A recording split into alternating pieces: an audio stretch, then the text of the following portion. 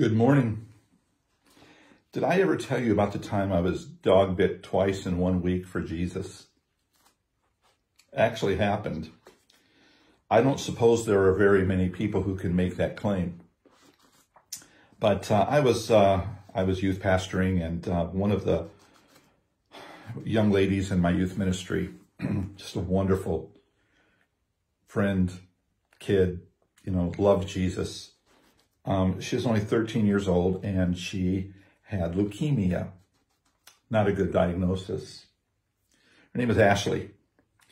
And uh, I've been back and forth to Children's Hospital in St. Louis visiting with Ashley for months as she received treatments and and uh, as that leukemia beat up her body and and uh, it, it damaged her body, but it never damaged her spirit. Never, not for a minute. Da Ashley was an amazing young woman who loved to bring other kids to church with her. And uh, probably one of the top two teenage evangelists in youth ministry that I've ever known. And uh, Ashley is with Jesus now. But uh, I, I, went to visit her one day at her home, and it was a beautiful day, and I decided to ride my motorcycle. So I climbed on and I rode out to her house, and um, there was no one else there, just Ashley. Our parents were at work, brothers were out someplace, I don't know. And she and I sat on the couch in the living room probably for a half hour or so and just talked and and uh, laughed and and uh, prayed. And uh, then I left. And uh, I remember going outside and just thinking about what this young lady was going through and uh, her faithfulness at such a crazy young age um, Ashley fought leukemia three times. Um, that was her first time when she was 13. And uh, she finally beat it the third time as, as a 23 year old young woman, but died due to the cure. The, the cure killed her. Um, so like I said, she's with Jesus right now. But I walked out of her house uh, just reflecting on, on her life. And I went and I got back on my motorcycle, turned it on, put my helmet on, and, and her, her dog walked out to me and his name is Brownie. He's a big chocolate lab, just a sweetheart of a dog. And um, I kicked the bike in gear, spun it around in the driveway. They had a long driveway. They lived kind of out in the country in this beautiful home with a lake out in front. And, and I took off and I'm going down their driveway and, and Brownie is running next to me, barking at me. I was worried it was Brownie. I mean, I, I'd just been petting her in the house with Ashley.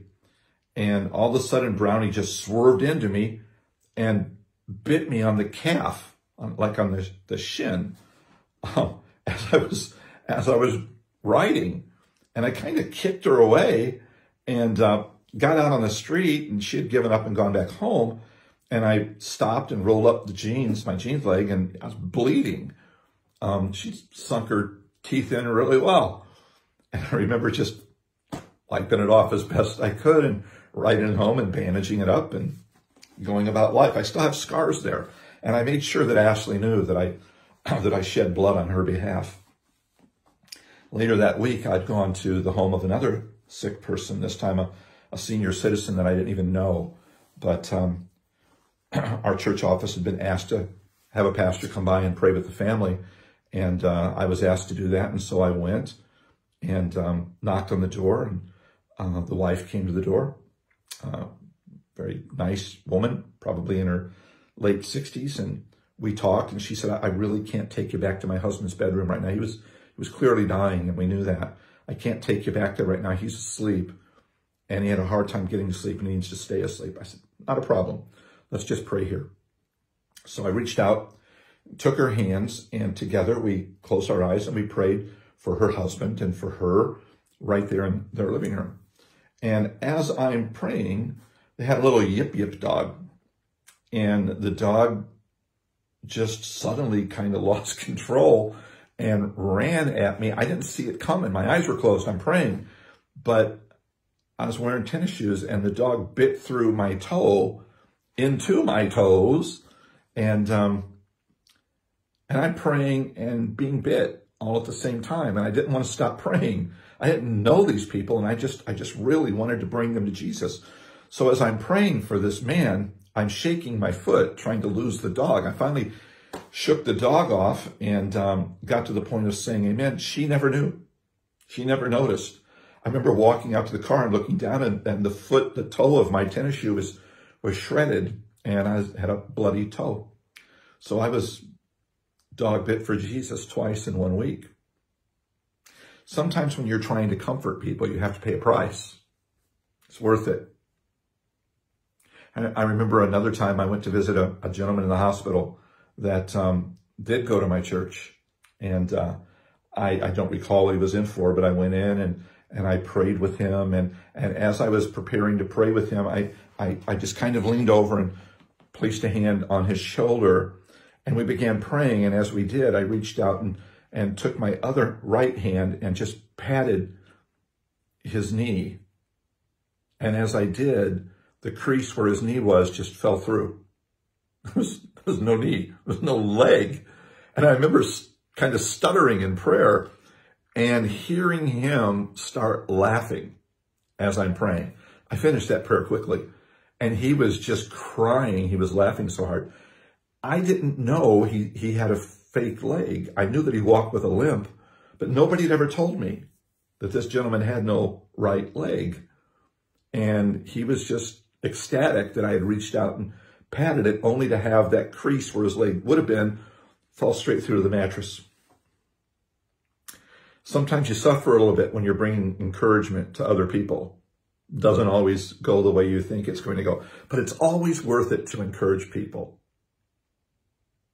I'm, I'm looking at a scripture here this morning that I think fits our role today in the great pandemic of 2020 because we're looking for ways to go beyond our anxiety and our fear and to serve and to love other people and to be God's agent, his ambassador, ambassadors for Christ, as the scripture says, uh, in this time and in this place.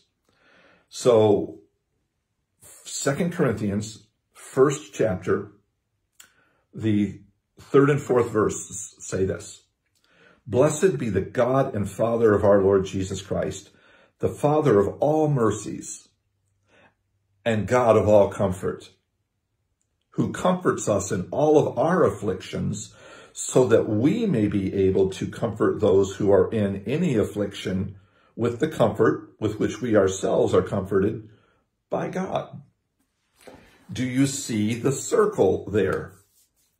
When you are suffering affliction of any sort, God shows up. You're his child and he loves you and he shows up and he comforts you. I mean, can you honestly say that during this time of this pandemic that God has never shown up, has never comforted you through his word or as we, as we speak of his word and sing together online on Sundays or maybe through one of these devotionals or through sharing with another person in your life. Can you honestly say God's never brought a measure of peace to your heart? I'm thinking he has. He certainly has with me. And one of the reasons he does that is he wants us to take the comfort with which we've been comforted in our afflictions, and he wants us to turn around and comfort others in their affliction with the comfort he gave us. There's our job, friends. There's why we're in the middle of this. I have a friend who says, I believe that every time a lost person gets cancer, a believer gets cancer in order to show them how to do it. I'm not sure that's theologically sound, but I get the point, and I love the point, and I agree with it. God allows us to walk through what the world's walking through so we can show them how to do it. Part of your job right now during COVID-19 in 2020 is to get through this with the faith and the resilience of knowing Jesus so that you can show others how to do it. There's your job. I've been kind of saying that in different ways over these last few videos that we've done, but I want you to hear it closely. Your job and your calling right now is found here in First, Second Corinthians chapter 1. Listen to it again. Blessed be the God and Father of our Lord Jesus Christ, the Father of all mercies and God of all comfort. Here it is, who comforts us in all our afflictions, so that we may be able to comfort those who are in any affliction with the comfort with which we ourselves are comforted by God. You take the medicine God has given you, the comfort of Christ. He's given it to you. Now pour it on somebody else. Love somebody else loudly and well today in Jesus' name. I hope you'll do that. I hope you'll pay attention to that scripture. I hope you won't sit today frozen in fear, locked up in anxiety, when the whole purpose that God has, has for us in this time and in this situation is to love others with the same love he's given us. Go do that. I'm going to do my best today to be looking for people to do that with. I promise you that's so. You know, I just close with this story. I love stories, if you can't tell. A couple of weeks ago, I was running into a gas station down the road from my house, Casey's, and I had filled my car up. And I went inside, had the mask on, the whole nine yards. There was no other cars around, so I knew it would just be the cashier. And I saw him through the window, and I knew who the guy was. And I went in, grabbed what I wanted, and as I'm paying for it, I said, how you doing? See, this guy is, is probably about 45, 50 years old, and he's physically, uh, you know, he's a big built guy. He's not fat, but he's big built, but he's also not well. He's, he's on um, dialysis several times a week.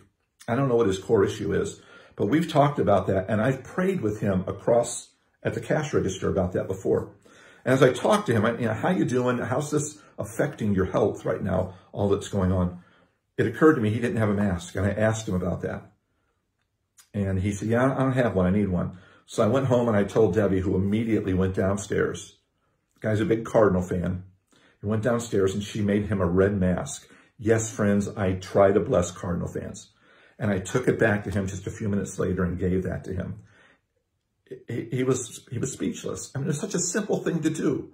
And I didn't even do it. I was just the delivery boy. But my wife made him a mask. Just about every time I see him now, he's wearing that. We were able in some way to comfort him in his affliction with the same comfort that we've been comforted with. You know, he he's aware that I'm a pastor, but you don't have to be to serve somebody. But I want him to know Jesus. And he knows I want him to know Jesus.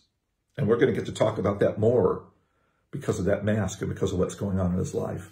Guys, serve someone today. Love somebody well today. And let them know you've been comforted in the middle of the, of the craziness by the comfort and the peace of God. And that they can be too. I love you. I'm praying for you. And I'm going to do that right now. Father, please give each one of us that are watching this now the message to bring to somebody else. Bring to, to mind a name of a person that is that we know is suffering in the middle of this, is, is fearful, is just locked up with anxiety, and tell us how we can we can relay to them what we've learned, the good news we've learned about the way you've blessed us. We can relay that to them to help them. Give us that name Send us on that mission and use us well. In Jesus' name, amen. Guys, you think about that. Have a great day. We'll talk tomorrow.